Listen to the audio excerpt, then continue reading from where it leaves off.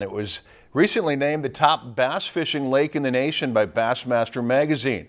For this week's Northwoods Adventure, Clayton Castle headed out to Mille Lacs Lake to check out all the hype.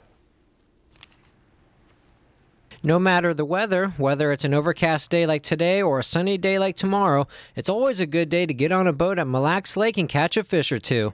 Now, while the walleye ban is still in effect for Mille Lacs Lake, the lake is becoming recognized for another type of fish, and it's grabbing the attention of a national magazine. Bass fishing's been uh, solid here for a number of years. Uh, we've found in the last couple years it started to gain some notoriety outside the Mille Lacs area, and uh, with last year having the uh, the Angler of the Year championship up here, uh, we got a little national attention, and uh, this year Bassmaster magazine rated us the top lake in the gap, top bass fishing destination in the galaxy or some.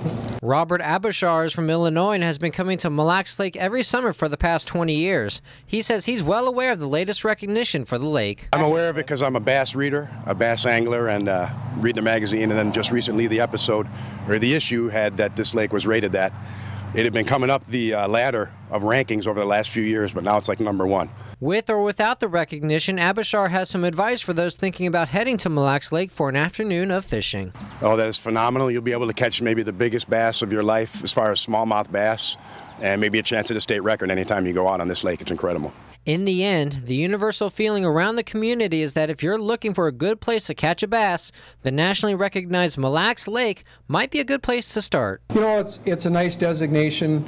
Um, will the lake hold up to it? It's like any lake, you know, we get good days and bad days, but I think most people can come to Mille Lacs and, and uh, get their share of smallmouth. Now, while the bass fishing here at Mille Lacs Lake has been getting a lot of notoriety lately, the walleye fishing ban has been extended through August 11th. Reporting in Garrison for this week's Northwoods Adventure, Clayton Castle, Lakeland News. If you've enjoyed this segment of Lakeland News, please consider making a tax-deductible contribution to Lakeland Public Television.